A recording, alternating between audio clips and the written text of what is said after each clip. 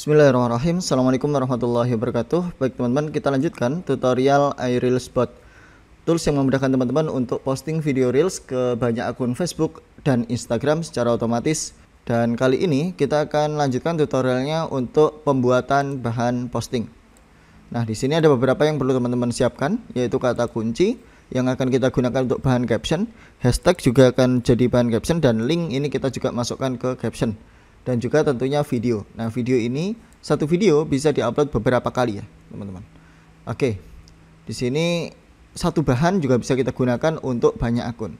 Nah, teman-teman bisa buka uh, iReels Spot teman-teman dan kemudian silahkan masuk ke bagian auto posting.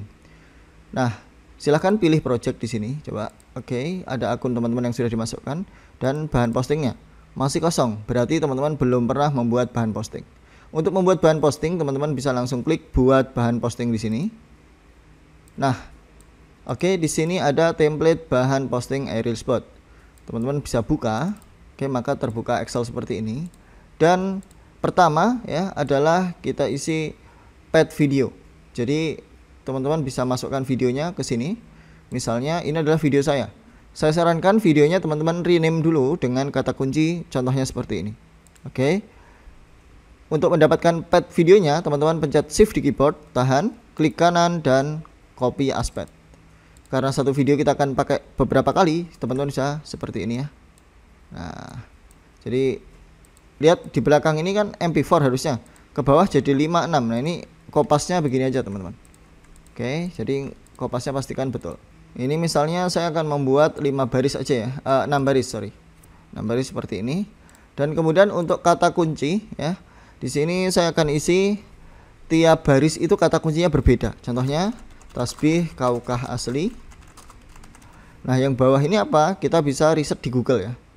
Jadi teman-teman boleh buka Google seperti ini. Kemudian coba ketik di sini tasbih kaukah asli spasi. Nah, ini ada Turki, Arab, berarti di sini bisa tasbih kaukah asli Turki, tasbih kaukah asli Arab. Nah, kemudian harga tasbih kaukah asli Arab. Kemudian apalagi di sini? Uh, tasbih kayu kaukah asli. Jadi satu video ini akan menyebar ke banyak kata kunci nanti teman-teman. Khasiat tasbih kaukah asli. Nah kemudian untuk short link teman-teman isi dengan link afiliasi teman-teman ya. Atau link ke produk teman-teman. Oke saya akan ambil link saya di sini ya. Nah ini linknya saya kopas. Ini link yang mengarah ke toko saya. Jadi nanti trafficnya masuk ke toko ya. Nah seperti ini teman-teman Oke, untuk mendapatkan short link ini ada di video uh, sebelumnya ya. Kemudian untuk hashtag ya, teman-teman bisa uh, ini kata kunci ini dijadikan hashtag. Untuk memudahkan memasukkan kata kunci ini jadi hashtag, teman-teman bisa lakukan ini ya. Ini di copy dulu. Kita buka Notepad ya. Notepad. Nah, di sini kemudian has, uh, spasinya kita hilangkan. Caranya ke, pencet Ctrl dan H di keyboard. Nah, kemudian word ini diisi dengan spasi dan replace dengan hilangkan replace-nya. Eh, nggak uh, ada sesuatu ya di sini kosong replace. Maka spasinya hilang kita tinggal tambahkan aja di sini hashtag hashtag hashtag hashtag seperti ini. Nah sudah jadi kita kopas. Masukkan di sini teman-teman. Dan apakah teman-teman ingin menjadwalkan atau tidak ya? Kalau teman-teman ingin menjadwalkan formatnya seperti ini ya. Jadi harus persis dengan ini tanggal, bulan, dan tahun dipisahkan dengan garis miring. Untuk menuliskan teman-teman bisa kasih petik dulu di depan. Contohnya sekarang tanggal 4 ya. Kita mau jadwalkan mulai tanggal 5 ya, teman-teman misalnya.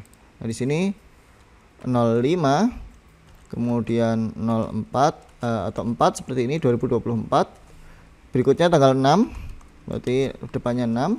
Karena saya ingin menjadwalkan jadi di sini diisi yes. Kalau tidak dijadwalkan isi dengan no ya. Nah, jamnya saya ingin posting ini di jam 6 pagi. Jadi isi dengan 06 tan pakai tanda petik dulu ya, teman-teman. 06 seperti ini ya. Kemudian semuanya 06. Jadi kopasnya seperti ini, teman-teman. Oke, 06 semua. Ini 00. Nah, jadi setiap jam 06.00 kasih tanda petik dulu 00. Nah, seperti ini, teman-teman. Oke, ini agar tetap 00 kita tulisnya seperti ini. Tarik ke bawah jeda tiap postingan saya akan buat 30 detik ya seperti ini. Oke. Sampai di sini teman-teman. Bahan saya sudah siap ya. Kita tinggal simpan aja. File save as browse. Nah simpannya di folder bahan posting ini ya. iReelsBot database bahan posting. Formatnya save as tipenya diganti csv, delimited. Nah ini. Csv, delimited. Kemudian di sini kita ganti nih. Misalnya tadi adalah tasbih kaukah asli. Nah seperti itu aja klik save. Jadi kita close ya dan kemudian kita lihat di robotnya apakah dia sudah muncul? Belum ya. Nah kalau belum tinggal kita reload aja robotnya. Oke klik OK. Dan teman-teman bisa lihat di sini auto posting. Aksesoris KOK kita pilih bahannya. Sudah bisa ya. Seperti itu. Silahkan teman-teman ikuti tutorial ini untuk membuat bahan postingnya semoga dimudahkan dan kalau ada pertanyaan tanyakan di grup support kita. Assalamualaikum warahmatullahi wabarakatuh